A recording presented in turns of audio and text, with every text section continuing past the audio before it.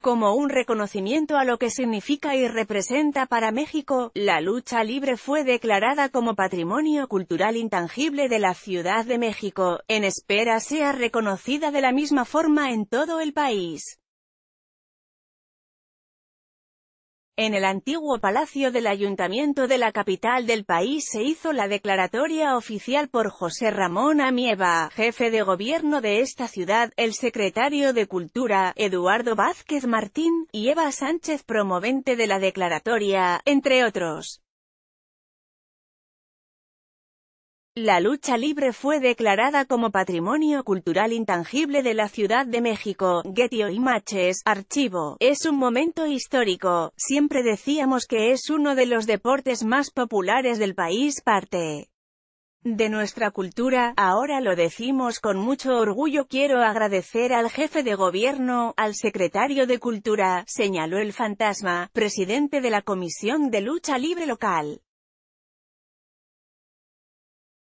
México gana tres oros en remo en Barranquilla 2018 José Ramón Amieva, por su parte, destacó a la lucha libre en general, desde la máscara, que representa un objeto valioso y una forma de expresarse, hasta la disciplina y emociones que logran generar los gladiadores, ustedes a través de esta disciplina, este deporte, esta representación deportiva y cultural logran generar emociones.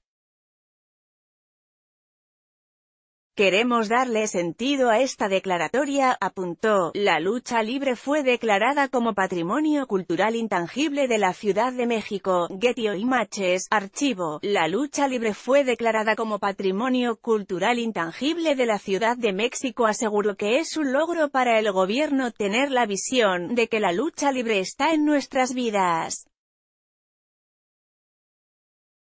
Además, pidió a gente a su cargo y con ayuda del fantasma, buscar programas sociales, de salud, empleo y desarrollo económico, entre otros, para que lleguen a toda la familia luchística, en particular a quienes más lo necesitan. Entre los invitados estuvieron principales figuras de la empresa AAA como La Parca, Texano Jr., Hijo del Fantasma, Pagano, Vampiro Canadiense, Chessman y otros, encabezados por la presidenta de la empresa, Marisela Peña.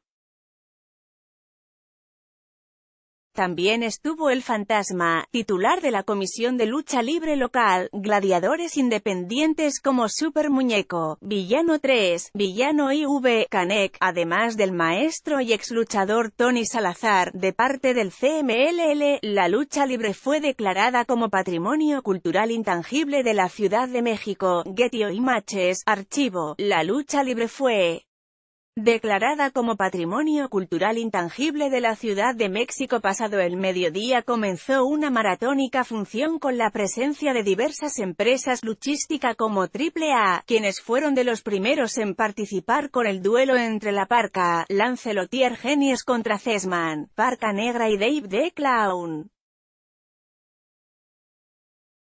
Los rudos hicieron gala de sus marrullerías y trabajo al son del montonero, pero los ídolos de la afición reaccionaron para emocionar a la gente, que aplaudió las ocurrencias del huesudo y los lances de sus compañeros.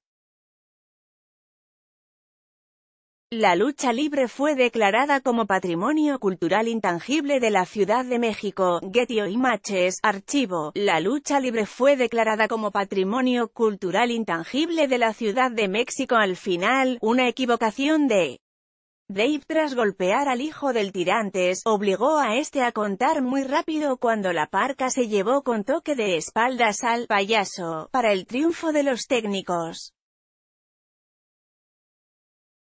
Las actividades en el ring instalado en el Zócalo seguirán a lo largo del día con la participación de diversas empresas, mientras que los aficionados se podrán tomar fotografías con los protagonistas. Habrá exhibición de danzón y baile con sonideros.